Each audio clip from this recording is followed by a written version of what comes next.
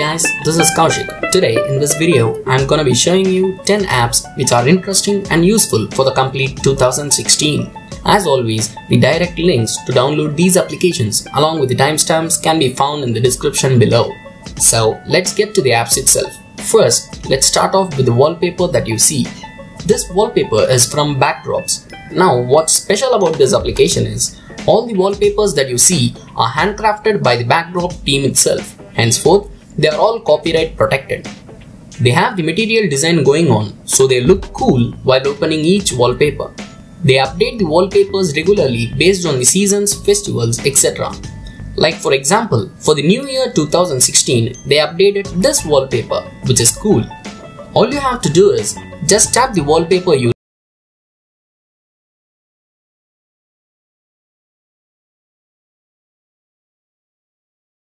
tab which has the wallpapers which are uploaded by users of the application. You can also share your wallpapers. To the left, it has different sections in which few can be unlocked if you buy the paid version I guess. And to the extreme left, you find the wallpapers categorized for easy access. So if you are regularly changing wallpapers to suit the setup and you also find the coolest wallpapers, then this is the app you are looking for. On to the next app, Blur Wallpaper.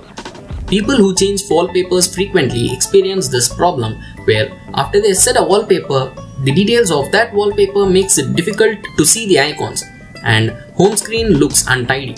Using this app, you can blur the present wallpaper that is already set. You can also reduce the brightness and desaturate the wallpaper. After doing so, just hit the wallpaper button below for the changes to take place. This makes your home screen look cool and also bring your icons to light which are pleasant to our eyes. The third one in the list is OG YouTube Downloader. As the name itself gives you an idea, it is somewhat related to YouTube and yeah, it is a modded version of original YouTube application.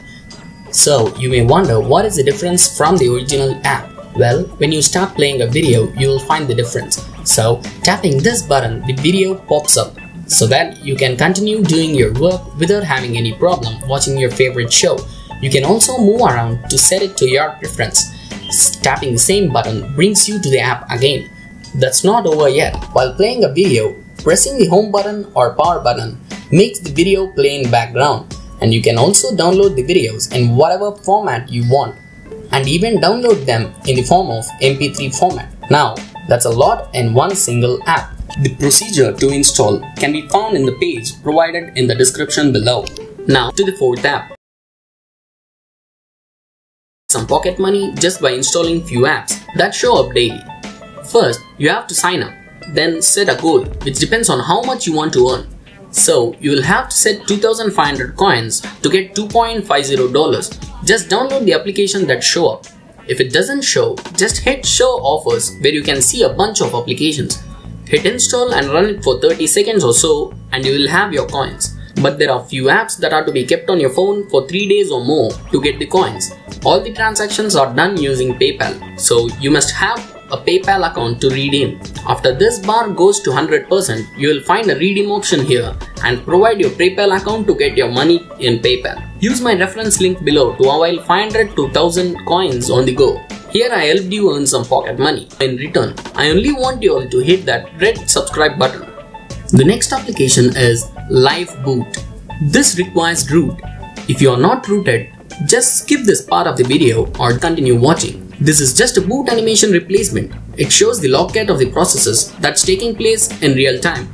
It is not a useful application though, but it looks cool and people think you are a developer. All you need to do is just open the application and give it root permission and just tap install. Now reboot your phone and you are now a developer. Let's jump into the next app, Native Clipboard. This helps you to copy and paste faster. Every time you copy something, the app saves them forever so that you can paste in the text field just by double tapping the text field and then choosing a clip to paste it. You can add as many clips you want. Swipe away to remove clip. Long press to show the complete clip. You can also pin the clip so that you don't remove it accidentally. You can even move the clipboard to use the keyboard at the same time to use spacebar or any other symbol. Next application is AVG Cleaner and Battery Saver. Opening up the application and just tapping on analyze, it automatically analyzes your photo gallery, the amount of cache on your device, the number of apps running and the battery hungry apps. As you all know, the last three options basically helps you clear some cache and close some apps to improve performance. But the main feature is the first option. It automatically detects all the bad and similar photos which if cleaned frees up some space. Swipe right to keep the photos and swipe left to remove them from the gallery. It also shows you similar photos where one is the perfect one and other is not so you can delete the second one. It is also integrated with an app manager, battery profile switcher and many more. This is a pretty good application to keep your phone clean and improve performance. The next one is the heads off ticker on. Google introduced a number of features with Android Lollipop and heads up notification is one of them. When you're in a game and if you get a notification, it shows on top which doesn't actually interrupt you but few people find it annoying to be there and want to disable that feature. If you are one of them, then this is the app you are looking for. There are few interesting features. Here, everything you have to do is click that start the app tile and enable notification access for the same. Go into settings and tick mark that show ticker. What it basically does is, it displays the first few lines of a message rather than the full notification card. You also have option to get little more information of the notification and also set the apps which must show the heads up notification and which shouldn't. But you can use them only by purchasing the pro version which is around 100 rupees or $2 in the Play Store. Nevertheless, this app does what it is intended to do. Next one is a file manager named Amaze. This is a powerful file browser and good looking.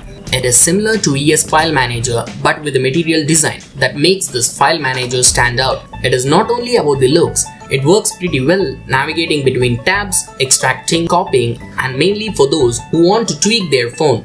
It even has root file management. So, if you are bored with other file managers, this is one of the best app you must try.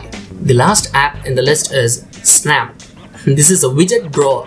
Every time you want to access a widget, you need to go to home screen and then come back to the app that you are working on. But what if you can access the widget just by swiping down from the notification drawer?